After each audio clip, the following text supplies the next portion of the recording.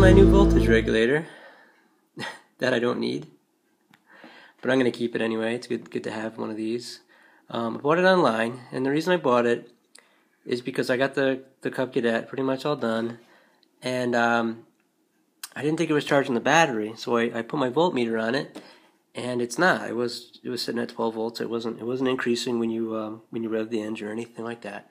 Um, so I polarized it like I polarized the red tractor, you know, this is the same way, and uh, still just didn't work. I it didn't work. I went through the wiring, I double checked things, and I figured, okay, I, I checked the um, generator, and the generator was you know producing current, so it must be a bad voltage regulator, right? So I ordered a voltage regulator. Okay, here's the part number if you guys need it. It's a 12 volt voltage regulator. This one is for a Cub Cadet. Um, right there. Anyway, when I got the voltage regulator, it came with this piece of paper with kind of instructions. I went through and read them. Figured I understood it already, but when I got to this part, I was like, wait a minute. You know, that's not how I polarize the other tractor. Basically, what it's saying is you want to jump power from the battery over to the armature um, on the generator. And then it says down here, um, do not touch the field terminal or the regulator is instantly ruined if that happens. Um, I thought, huh, that's that's weird. Um, so then I was trying to, you know, I was trying to, I looked at the other one again, and um, so I went online and I started trying to research uh, uh, polarizing generators and, and, voltage regulators and um, and generators, and I found out something. Apparently, you don't polarize all tractors and all generators the same way. Um, apparently, all the generators there's you know there's different kinds of generators. Um, it all depends on the way they're designed. Some have three brushes, some have two brushes, um, and they're not all the same. So you basically you have to know what you have, and then once you figure out what you have, you'll have um, a different a different circuit basically. Um, you have on here basically there's there's two different circuits that you're probably going to have. You're either going to have an A circuit or a B circuit. And what that means is basically um, this generator here on the A circuit was basically what uh, G uh, GM used, General Motors used in the 40s and 50s in their vehicles. And they were different from these generators. This generator was primarily used in Fords in the 40s and 50s, and of course, Chevy and Ford, they're always different. And um, so internally, these are different than this one. Now, because they're different, that means that you polarize them differently, and the circuit is different. Um,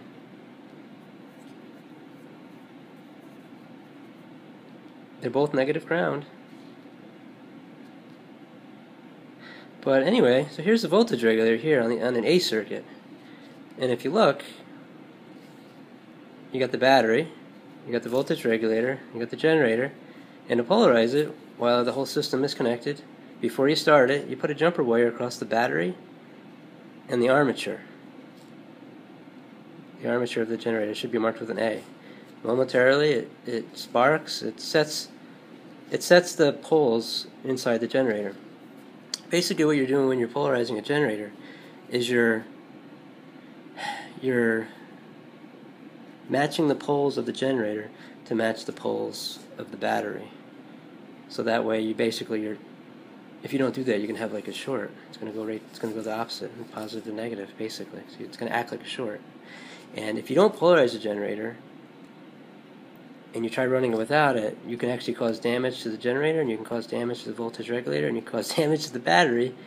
It's going to burn up the voltage regulator, the points and the contacts, and it's going to overheat the uh, generator. It's going to, if you overheat the generator, you can melt the varnish on the coils, and um, you could actually melt the solder that's, you know, soldered all the, the you know, the coils and the armature and stuff.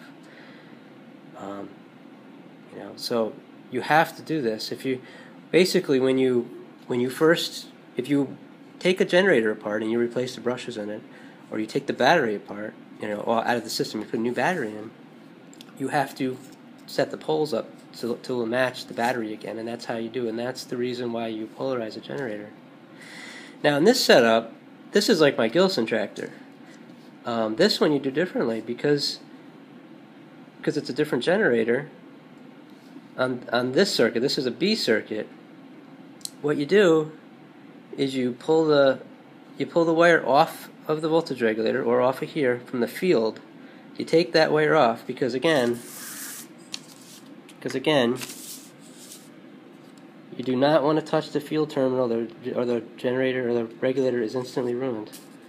Right? So you want to pull that wire off of your field and then you just you you jumper or you touch the field terminal on the generator to the battery you know to the positive side of the battery when this is disconnected you disconnect the voltage regulator so that doesn't go back and um, you just do it for a second you get a spark it lines the poles in the generator to match the, the battery. And um, and that's how you do that one. And you know again the battery's got to be connected to the system when you do this. And uh, and that's how you that's how you polarize you polarize um, a B circuit. Again this is an A circuit this is a B circuit. Okay? Um, just just to show you here's the generator I mean, I'm sorry, the voltage regulator, right? You got you got L, you got battery, and you got F. Then over here you got generator, G, right? So the generator, that's your that goes to the armature on the generator. The battery basically goes to the ammeter or the battery. That's what's putting out the charge. The load would go forget to the to the ignition or something. I forget. And then there's the field. Um, this goes to the other terminal on the generator.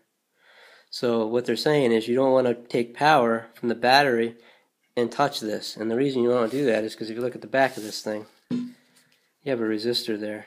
It's sort of like a fuse, I guess, but um, you can uh, you could probably blow that, you know, because that's going from the field term, that's going to the chassis, so that's grounded. So,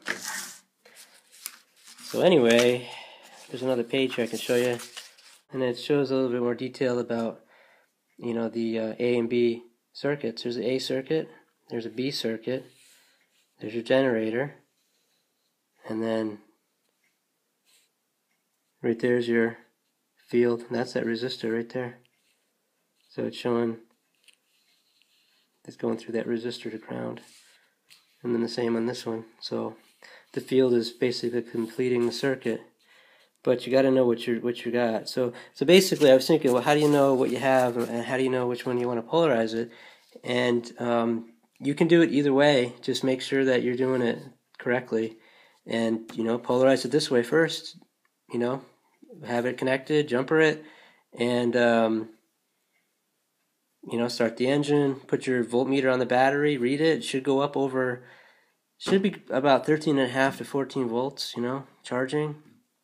And then um, if it doesn't work, you know, try it this way, you know, disconnect that, you know, polarize it, start it, put your voltmeter on the battery, and then watch it. And it should, it should go up. The battery should sit about 12 volts or 12 and a half volts.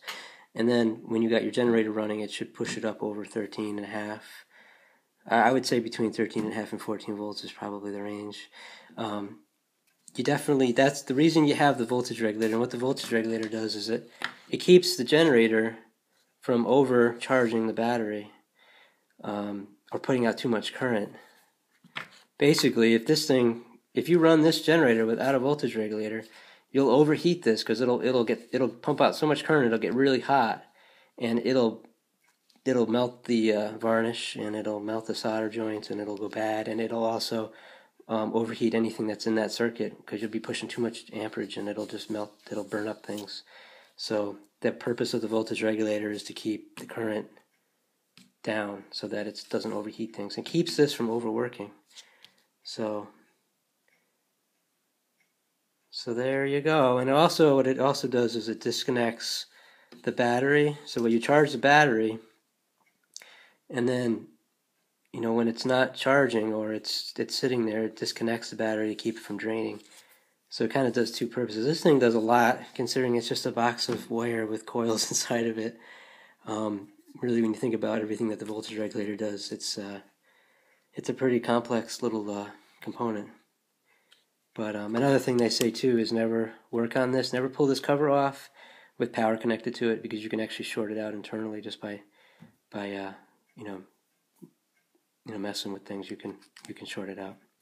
So so just be careful with it. And uh all right guys. Stay down a little idle.